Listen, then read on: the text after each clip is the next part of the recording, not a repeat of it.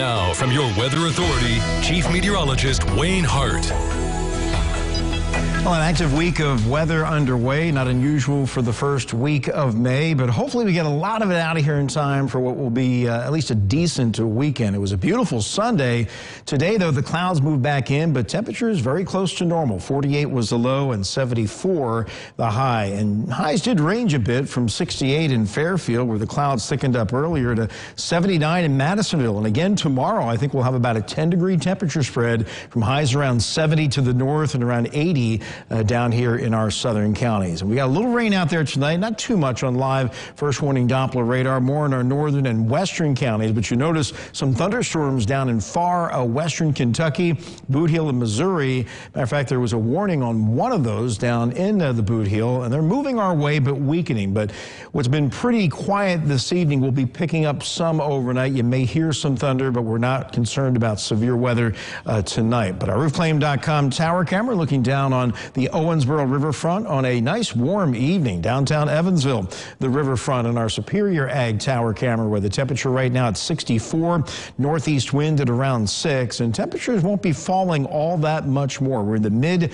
to upper 60s for the most part, though Tell City and Morganfield are a bit warmer at 70. I think we'll wind up for a while between 60 and 65, then rise up to between 65 and 70 by daybreak tomorrow morning as a warm front lifts through that area. And the system well to our west has been active today with uh, severe thunderstorm warnings and tornado warnings and a long line of severe thunderstorm warnings there across all of southeastern Oklahoma into northwestern uh, Arkansas. No tornado warnings right now. And there's that one little severe thunderstorm warning near the boot heel of Missouri and far northwestern uh, Tennessee. Most of the storm reports today were fairly scattered. There were a few reports of tornadoes in Oklahoma back into southern Kansas and then spotty wind damage reports through the uh, southern and central plains and even mid-Mississippi Valley. So you can kind of see the stormier weather off here to the west that's moving our way, but is expected to weaken. The Storm Prediction Center in their update this evening still holding that marginal level one threat for severe weather just off to our southwest. So we'll keep an eye on the storms as they move in overnight. Future Tracker uh, does keep them a, a, bit on the strong side for a while. This is 3 a.m. You got a little cluster crossing Highway 41, but they all fade away by 7 o'clock in the morning. So unless you have a really early commute, not expecting too much rain uh, for the morning commute tomorrow. And then we'll see some sun developing and then at least some scattered showers and thunderstorms redeveloping in the afternoon. And that's where the Storm Prediction Center has a marginal level one threat for a severe storm, isolated damaging wind and hail just southeast of Evansville. But our future tracker model for the second consecutive run is not getting aggressive at all with the storms tomorrow. Just a few developing there in our southeastern counties between about 2 and 4 in the afternoon. They quickly exit.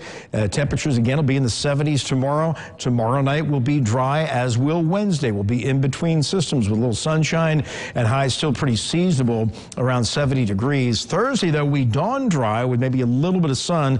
This is 7 a.m. Thursday. Then more showers and thunderstorms begin to work back in from the west. You can see them crossing I-57 there uh, Thursday afternoon around the noon hour. And the Storm Prediction Center has at least a good deal of the tri-state under a level one marginal threat for Thursday afternoon and evening. That slight risk is just off to our southwest. That will certainly be fine-tuned, I think, in the next couple of days. Uh, some uncertainty in terms of the timing of these storms, some of the guidance slowing them down, and just to how strong they're going to be once they make it into our area. But overnight, uh, scattered showers, some thunder showers, uh, and then they'll be diminishing by daybreak. Be breezy and warm, 62 to 65, but rising uh, towards the sunrise tomorrow morning. And then we'll see some clearing tomorrow, just some scattered showers and thunderstorms during the day. That isolated severe threat in our southeastern counties in the afternoon. 71 to the north, 81 to the south, mid 70s here in the metro. Seven day forecast, a little sunshine on Wednesday, 69, then mostly cloudy Thursday. Scattered showers and thunderstorms moving back in during the afternoon into Thursday night.